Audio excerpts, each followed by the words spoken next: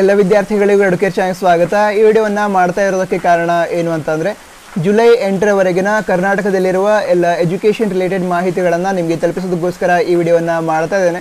ವಿಡಿಯೋದಲ್ಲಿ ಹೇಳ್ತಾ ಇನ್ಫಾರ್ಮೇಷನ್ ನಿಮಗೆ ಖಂಡಿತವಾಗಿಯೂ ಸಹಾಯ ಆಗುತ್ತೆ. ವಿಡಿಯೋವನ್ನು ಪೂರ್ತಿಯಾಗಿ ನೋಡಿ, ಯಾಕಂತಂದರೆ ಇಂದು ಬಹಳಷ್ಟು ಇಂಪಾರ್ಟೆಂಟ್ ವಿಷಯಗಳು ಇದ್ದಾವೆ ಅದೇ ರೀತಿ ಈ ವಿಡಿಯೋನ ತಪ್ಪದೆ ಲೈಕ್ ಕೂಡ ಮಾಡಿ, ಯಾಕೆಂದರೆ ಆ ಒಂದು ಮಾಹಿತಿ ನಿಮಗೆ ಸಹಾಯ ಕೂಡ ಆಗತ್ತೆ. ಮತ್ತು ನೀವು ನಮ್ಮ ಚಾನಲ್ಗೆ ಮೊದಲನೇ ಬಾರಿಗೆ ವಿಸಿಟ್ ಮಾಡಿದರೆ ಅಥವಾ ಇದುವರೆಗೆ ಸಬ್ಸ್ಕ್ರೈಬ್ ಮಾಡದೇ ಇದ್ದರೆ ನಮ್ಮ ಚಾನಲನ್ನು ಕೂಡ ತಪ್ಪದೆ ಸಬ್ಸ್ಕ್ರೈಬ್ ಮಾಡಿ. ಯಾಕೆ ಅಂತಂದರೆ ಮುಂದಿನ ದಿನಗಳಲ್ಲೂ ಕೂಡ ಕರ್ನಾಟಕದಲ್ಲಿರುವ ಎಲ್ಲ ಪರೀಕ್ಷೆಗಳ ಬಗ್ಗೆ ಮಾಹಿತಿಯನ್ನು ನಿಮಗೆ ತಲುಪಿಸಲಿಕ್ಕೆ ನನ್ನ ಪ್ರಯತ್ನವನ್ನು ನಾನು ಮಾಡ್ತಾ ಇರ್ತೇನೆ. ಸರಿ, ವಿಡಿಯೋವನ್ನು ಪ್ರಾರಂಭಿಸೋಣ. ಆ, ಮೊದಲನೇದಾಗಿ ಫಸ್ಟ್ ಯು ಸಿ ವಿದ್ಯಾರ್ಥಿಗಳು ಯಾರು ಇದ್ದಾರೆ ಅವರು ಹಲವಾರು ಹಲವಾರು ದಿನಗಳಿಂದ ಕೇಳ್ತಾ ಇದ್ರು ನಮ್ಮ ಸಪ್ಲಿಮೆಂಟರಿ ಎಕ್ಸಾಮ್ನ ಬಗ್ಗೆ ಮಾಹಿತಿ ಯಾವಾಗ ಸಿಗತ್ತೆ ಅಂತ. ಈಗ ಕರ್ನಾಟಕ ಪಿ ಯು ಬೋರ್ಡ್ನವರು ಫಸ್ಟ್ ಯು ಸಿ ವಿದ್ಯಾರ್ಥಿಗಳ ಸಪ್ಲಿಮೆಂಟರಿ ಎಕ್ಸಾಮಿನ ಬಗ್ಗೆ ಒಂದು ನೋಟಿಫಿಕೇಶನ್ ಅಥವಾ ಸರ್ಕ್ಯುಲರನ್ನು ರಿಲೀಸ್ ಮಾಡಿದ್ದಾರೆ. ಅದರ ಪ್ರಕಾರ ಈ ಒಂದು ಸಪ್ಲಿಮೆಂಟರಿ ಎಕ್ಸಾಮ್ ಏನಿದೆ ಫಸ್ಟ್ ಪಿ ಯು ಸಿ ವಿದ್ಯಾರ್ಥಿಗಳದ್ದು ಅದು ಜುಲೈ ಹದಿನಾರರಿಂದ ಜುಲೈ ಇಪ್ಪತ್ತೇಳರವರೆಗೆ ನಡೆಸಬಹುದು ಅಂತ ತಿಳಿಸಿದ್ದಾರೆ. ಈ ಒಂದು ಪರೀಕ್ಷೆಗೆ ಬೇಕಾಗಿರುವ ಟೈಮ್ ಟೇಬಲ್ ಅಥವಾ ವೇಳಾಪಟ್ಟಿ ಏನಿರುತ್ತೆ ಅದನ್ನು ನಿಮ್ಮ ಕಾಲೇಜಿನವರು ಅಥವಾ ನಿಮ್ಮ ಶಿಕ್ಷಣ ಸಂಸ್ಥೆಯವರು ರೆಡಿ ಮಾಡಿ ನಿಮಗೆ ಕಳಿಸ್ತಾರೆ. ಆ ಒಂದು ವೇಳಾಪಟ್ಟಿಯ ಪ್ರಕಾರ ಈ ಫಸ್ಟ್ ಯು ಸಿ ವಿದ್ಯಾರ್ಥಿಗಳ ಸಪ್ಲಿಮೆಂಟರಿ ಎಕ್ಸಾಮನ್ನು ನಡೆಸಲಾಗುತ್ತೆ.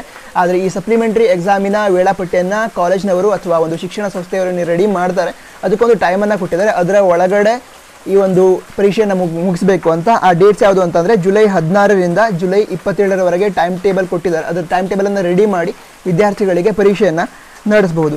ಮತ್ತು ಈ ಪರೀಕ್ಷೆಯ ಫೀಸ್ ಆಗಿರಬಹುದು ಮತ್ತು ರಿಸಲ್ಟ್ ಯಾವಾಗ ಬರುತ್ತೆ, ಇವೆಲ್ಲವುಗಳ ಬಗ್ಗೆ ಡೀಟೇಲ್ ವಿಡಿಯೋವನ್ನು ನಾನು ನಿನ್ನೆ ಒಂದು ರೆಕಾರ್ಡ್ ಮಾಡಿ ಅಪ್ಲೋಡ್ ಮಾಡಿದ್ದೇನೆ. ಅದರ ಲಿಂಕನ್ನು ಡಿಸ್ಕ್ರಿಪ್ಷನ್ ಕೊಟ್ಟಿರ್ತೇನೆ. ವಿದ್ಯಾರ್ಥಿಗಳು ಚೆಕ್ ಮಾಡಿ ಸುಮಾರು ಹತ್ತರಿಂದ ಹತ್ತು ಓಕೆ ಹತ್ತು ನಿಮಿಷದ ವಿಡಿಯೋ ಇದೆ.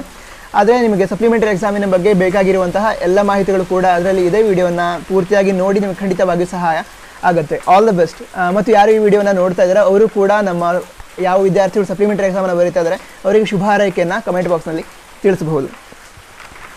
ನಂತರ Karnataka T E T Karnataka teachers eligibility test ಈ ಪರೀಕ್ಷೆಯನ್ನು ಪೋಸ್ಟ್ಪೋನ್ ಮಾಡಲಾಗಿದೆ.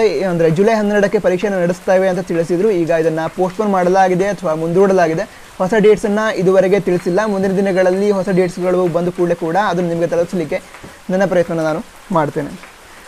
ಈಗ ಡಿಗ್ರಿ ಎಕ್ಸಾಮಿನ ಬಗ್ಗೆ, ಇದ್ರ ಬಗ್ಗೆ ಕೂಡ ವಿದ್ಯಾರ್ಥಿಗಳು ಹಲವಾರು ದಿನಗಳಿಂದ ಕಾಯ್ತಾ ಇದ್ರು. ಏನು ಅಂತಂದರೆ ಡಿಗ್ರಿ ಡಿಗ್ರಿ ಎಕ್ಸಾಮಿನ ಬಗ್ಗೆ ಏನಾದರೂ ಒಂದು ಅಪ್ಡೇಟ್ ಬರಲಿ ಅಂತ.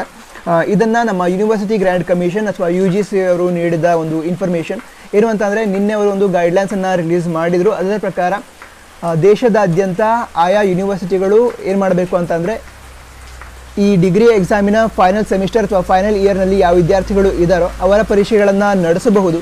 ಆದರೆ ಆ ಪರೀಕ್ಷೆ ಏನಿದೆ, ಅದನ್ನು ಸೆಪ್ಟೆಂಬರ್ ಅಂತ್ಯದ ಒಳಗೆ ಮುಗಿಸಬೇಕು ಅಂತ ತಿಳಿಸಿದ್ದಾರೆ ಮತ್ತು ಈ ಪರೀಕ್ಷೆಗಳೇನಿದ್ದಾವೆ ಡಿಗ್ರಿ ವಿದ್ಯಾರ್ಥಿಗಳದ್ದು ಅದನ್ನು ಆನ್ಲೈನ್ ಮತ್ತು ಆಫ್ಲೈನ್ ಯಾವುದು ಎರಡೂ ರೀತಿಯಲ್ಲಿ ಪರೀಕ್ಷೆನ ಮಾಡ್ಬೋದು ಅಂತ ಹೇಳಿದ್ದಾರೆ. ಅಂತ ಹೇಳಿದ್ರೆ ಆನ್ಲೈನ್ ಅಂತ ಹೇಳಿದ್ರೆ ಆನ್ಲೈನ್ ಮೂಲಕ ಪರೀಕ್ಷೆ ಮಾಡೋದು ಆಫ್ಲೈನ್ ಅಂತ ಹೇಳಿದ್ರೆ ವಿದ್ಯಾರ್ಥಿಗಳು ತರಗತಿಗಳಿಗೆ ಹೋಗಿ, ಅಂದರೆ ಕ್ಲಾಸ್ ರೂಮ್ನಲ್ಲಿ ಕುಳಿತುಕೊಂಡು ಪರೀಕ್ಷೆಯನ್ನು ಬರ, ಬರೆಯುವಂಥದ್ದು. ಇವೆರಡು ರೀತಿಯಲ್ಲಿ ವಿದ್ಯಾರ್ಥಿಗಳು ಪರೀಕ್ಷೆಯನ್ನು ಬರೀಬಹುದು. ಅಥವಾ ಸಬ್ಜೆಕ್ಟ್ಗಳಿಗೆ ಅನುಗುಣವಾಗಿ ಯೂನಿವರ್ಸಿಟಿಗಳು ಟೈಮ್ ಟೇಬಲನ್ನು ಯಾವ ರೀತಿ, ಅಂದರೆ ಯಾವ ಸಬ್ಜೆಕ್ಟ್ ಅನ್ನೋದು ಆನ್ಲೈನಲ್ಲಿ ಮತ್ತು ಯಾವ ಸಬ್ಜೆಕ್ಟ್ ಅನ್ನೋದು ಆಫ್ಲೈನಲ್ಲಿ ನಡೆಸಬಹುದು, ಈ ರೀತಿ ಕೂಡ ತೀರ್ಮಾನವನ್ನು ತೆಗೆದುಕೊಳ್ಳಬಹುದು ಅಂತ ತಿಳಿಸಿದ್ದಾರೆ. ಅಂತಂದರೆ ಆನ್ಲೈನ್ ಆಫ್ಲೈನ್ ಎರಡೂ ರೀತಿಯಲ್ಲಿ ಪರೀಕ್ಷೆಯನ್ನು ನಡೆಸಬಹುದು ಅಂತ ತಿಳಿಸಿದ್ದಾರೆ. ಮತ್ತು ಹಾಂ, ಡಿಪ್ಲೊಮಾ ವಿದ್ಯಾರ್ಥಿಗಳ ಪರೀಕ್ಷೆ ಏನಿದೆ ಅದನ್ನು ಜುಲೈ ಹದಿನೈದರಿಂದ ಪ್ರಾರಂಭಿಸಿ ಆಗಸ್ಟ್ ಐದರ ಒಳಗೆ ಮುಗಿಸಬಹುದು ಅಂತ ಒಂದು ಪ್ರೊವಿಷನಲ್ ಟೈಮ್ ಟೇಬಲನ್ನು ಡಿಪಾರ್ಟ್ಮೆಂಟ್ ಆಫ್ ಟೆಕ್ನಿಕಲ್ ಎಜುಕೇಷನ್ ಅವರು ಪ್ರಕಟಿಸಿದರು. ಈಗ ಅದನ್ನು ಪೋಸ್ಟ್ಪೋನ್ ಮಾಡಲಾಗಿದೆ ಅಥವಾ ಮುಂದೂಡಲಾಗಿದೆ. ಹೊಸ ಡೇಟ್ಸ್ಗಳನ್ನು ಇದುವರೆಗೆ ತಿಳಿಸಿಲ್ಲ. ಮುಂದಿನ ದಿನಗಳಲ್ಲಿ ಆ ಡೇಟ್ಸ್ಗಳು ತಿಳಿಸಿದ ನಂತರ ಅದನ್ನು ಕೂಡ ನಿಮಗೆ ತಲುಪಿಸಲಿಕ್ಕೆ ನನ್ನ ಪ್ರಯತ್ನವನ್ನು ನಾನು ಮಾಡ್ತೇನೆ. ಅದೇ ರೀತಿ ಡಿಪ್ಲೊಮಾ ಸಿ ಇ ಟಿ ಅಥವಾ ಡಿ ಸಿ ಇ ಟಿ ಅಂತ ಕರಿತೇವೆ.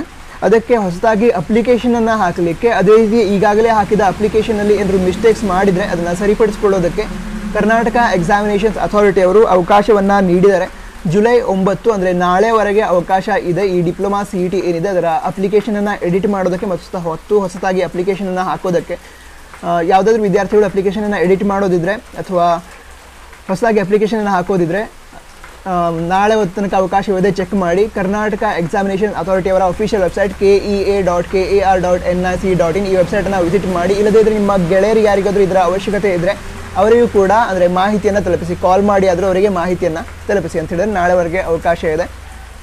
ಅಂದರೆ ಅಪ್ಲಿಕೇಶನ್ ಹಾಕೋದಿದ್ರೆ ಅಪ್ಲಿಕೇಶನ್ ಹಾಕಿ ಅಥವಾ ಎಡಿಟ್ ಮಾಡೋದಿದ್ರೆ ಮಾಡಿ ಅಂತ. ಹಾಂ, ಇದು ಬಹಳಷ್ಟು ದಿನಗಳಿಂದ ಹೇಳಬೇಕಂತಿದ್ದೆ ಎಲ್ಲ ವೀಡಿಯೋಗಳಲ್ಲಿ, ಆದರೆ ಇದುವರೆಗೆ ಆಗಿರಲಿಲ್ಲ, ಅಂದರೆ ನೆನಪೇ ಬರ್ತಿರಲಿಲ್ಲ. ಹಾಂ, ಏನು ಅಂತಂದರೆ ಫಸ್ಟ್ ಪಿ ಯು ಸಿಯಿಂದ ಸೆಕೆಂಡ್ ಪಿ ಯು ಸಿಗೆ ಯಾವ ವಿದ್ಯಾರ್ಥಿಗಳು ಹೋಗ್ತಾ ಇದ್ದಾರೆ, ಅಂದರೆ ಸೈನ್ಸ್ ವಿದ್ಯಾರ್ಥಿಗಳು, ಅದೇ ರೀತಿ ಎಸ್ ಎಲ್ ಸಿ ಮುಗಿಸಿದ ನಂತರ ಮುಂದೆ ಪಿ ಯು ಸಿಯಲ್ಲಿ ಸೈನ್ಸನ್ನು ಯಾವ ವಿದ್ಯಾರ್ಥಿಗಳು ತೆಗೆದುಕೊಳ್ಬೇಕು ಅಂತ ಇದ್ದಾರೋ ಅಂತಹ ವಿದ್ಯಾರ್ಥಿಗಳಿಗೆ ಫಿಸಿಕ್ಸ್ ಕ್ಲಾಸ್ಗಳನ್ನು ನಾನು ಮತ್ತೊಂದು ಚಾನಲ್ನಲ್ಲಿ ಎಜುಕೇರ್ ಲೈಟ್ ಫಾರ್ ಲೈಫ್ ಅಂತ ಮತ್ತೊಂದು ಚಾನಲ್ಗಳಲ್ಲಿ ಫಿಸಿಕ್ಸ್ ಚಾನಲ್ನಲ್ಲಿ ಫಿಸಿಕ್ಸ್ ಕ್ಲಾಸನ್ನು ತೆಗೆದುಕೊಳ್ತಾ ಇದ್ದೇನೆ. ವಿದ್ಯಾರ್ಥಿಗಳು ಆ ಚಾನಲ್ನ ಚೆಕ್ ಮಾಡಿ ನಿಮಗೆ ಅಂದರೆ ಕಲಿಸೋದು ಇಷ್ಟ ಆದರೆ ಆ ಒಂದು ಎಜುಕೇರ್ ಲೈಟ್ ಫಾರ್ ಲೈಫ್ ಚಾನಲನ್ನು ಸಬ್ಸ್ಕ್ರೈಬ್ ಮಾಡಬಹುದು. ಸ, ಅಂದರೆ ಸರ್ಚ್ ಮಾಡಿಕೊಂಡು ಕೂಡ ಆ ಚಾನಲನ್ನು ಚೆಕ್ ಮಾಡಬಹುದು. ಇಲ್ಲದೇ ಇದ್ದರೆ ಆ ಚಾನಲ್ನ ಲಿಂಕನ್ನು ಡಿಸ್ಕ್ರಿಪ್ಷನಲ್ಲಿ ಕೊಟ್ಟಿರ್ತಾನೆ. ಸರಿ. ಮುಂದಿನ ವಿಷಯ ಏನು ಅಂತಂದರೆ ನೀಟ್ ಪರೀಕ್ಷೆಯನ್ನು ಪೋಸ್ಟ್ಪೋನ್ ಮಾಡಲಾಗಿದೆ. ಅದನ್ನು ಸೆಪ್ಟೆಂಬರ್ ಹದಿಮೂರಕ್ಕೆ ನಡೆಸಲಾಗತ್ತೆ ಅಂತ ಈಗಾಗಲೇ ನಮಗೆ ತಿಳಿಸಿದ್ದಾರೆ. ಅದೇ ರೀತಿ ಜೆ ಇ ಪರೀಕ್ಷೆ ಏನಿದೆ, ಅದನ್ನು ಕೂಡ ಪೋಸ್ಟ್ಪೋನ್ ಈಗಾಗಲೇ ಮಾಡಲಾಗಿದೆ. ನಂತರ ಸೆಪ್ಟೆಂಬರ್ ಒಂದರಿಂದ ಸೆಪ್ಟೆಂಬರ್ ಆರರವರೆಗೆ ಈ ಒಂದು ಜೆ ಇ ಪರೀಕ್ಷೆಯನ್ನು ನಡೆಸಲಾಗುತ್ತೆ ಅಂತ ತಿಳಿಸಿದ್ದಾರೆ. ನಂತರ ಪಿ ಜಿ ಇ ಟಿ ಇದರ ಸೆಕೆಂಡ್ ರೌಂಡ್ ಆಪ್ಷನ್ ಎಂಟ್ರಿ ನಡೀತಾ ಇದೆ. ಯಾವ ವಿದ್ಯಾರ್ಥಿಗಳು ಈ ಪಿ ಜಿ ಇ ಟಿಗೋಸ್ಕರ ಅಪ್ಲಿಕೇಶನನ್ನು ಹಾಕಿದ್ದೀರಾ?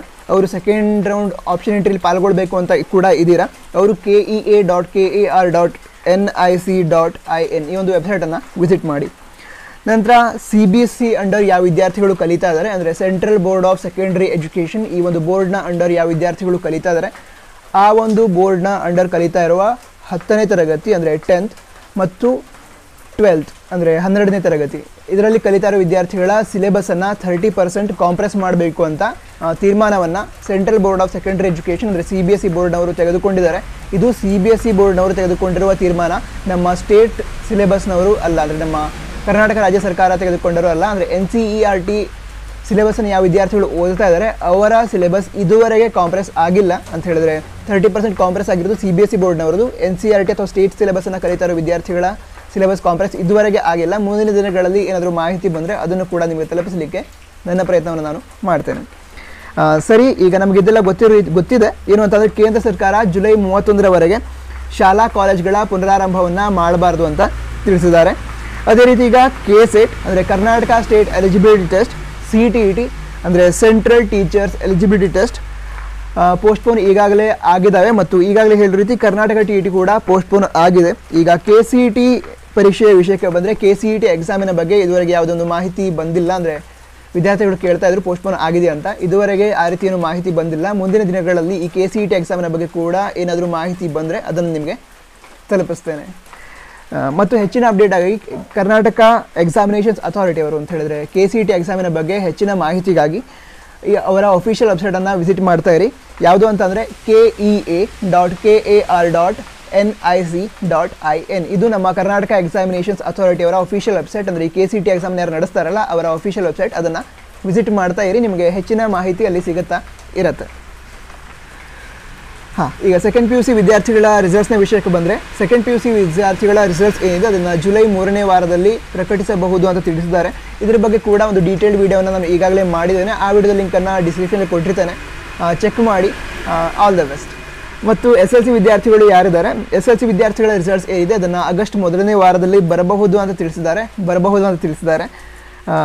ಮುಂದಿನ ಮಾಹಿತಿ ಏನಾದರೂ ಬಂದರೆ ಅದನ್ನು ಕೂಡ ನಿಮಗೆ ತಲುಪಿಸ್ತೇನೆ. ಮತ್ತು ಎಸ್ ಎಲ್ ಸಿ ವಿದ್ಯಾರ್ಥಿಗಳ ಸಪ್ಲಿಮೆಂಟರಿ ಎಕ್ಸಾಮ್ ಏನಿದೆ ಅದನ್ನು ಆಗಸ್ಟ್ನಲ್ಲಿ ನಡೆಸಬಹುದು ಅಂತ ಈಗಾಗಲೇ ನಮ್ಮ ಶಿಕ್ಷಣ ಸಚಿವರಾದ ಶ್ರೀ ಸುರೇಶ್ ಕುಮಾರ್ ಸರ್ ಅವರು ತಿಳಿಸಿದ್ದಾರೆ. ಅದರ ಟೈಮ್ ಟೇಬಲ್ ಅಥವಾ ಮುಂದಿನ ಏನಾದರೂ ಮಾಹಿತಿ ಬಂದರೆ ಅದನ್ನು ಕೂಡ ನಿಮಗೆ ನಾನು ತಲುಪಿಸಲಿಕ್ಕೆ ನನ್ನ ಪ್ರಯತ್ನವನ್ನು ನಾನು ಮಾಡ್ತೇನೆ. ಸರಿ, ಈ ವಿಡಿಯೋ ಸಹಾಯ ಆಗಿದ್ದರೆ ವಿಡಿಯೋವನ್ನು ಲೈಕ್ ಮಾಡದಿದ್ದರೆ ಲೈಕ್ ಮಾಡಿ, ನಮ್ಮ ಚಾನಲನ್ನು ಇದುವೇ ಸಬ್ಸ್ಕ್ರೈಬ್ ಮಾಡದೇ ಇದ್ದರೆ ತಪ್ಪದೆ ಸಬ್ಸ್ಕ್ರೈಬ್ ಕೂಡ ಮಾಡಿ ಮತ್ತು ಈ ವಿಡಿಯೋದ ಲಿಂಕನ್ನು ನಿಮ್ಮ ಗೆಳೆಯರಿಗೂ ಕೂಡ ಶೇರ್ ಮಾಡಿ, ಅವರಿಗೆ ಬೇಕಾಗುವ ಕೆಲವು ಮಾಹಿತಿಗಳು ಈ ವಿಡಿಯೋದಲ್ಲಿ ಇರಬಹುದು.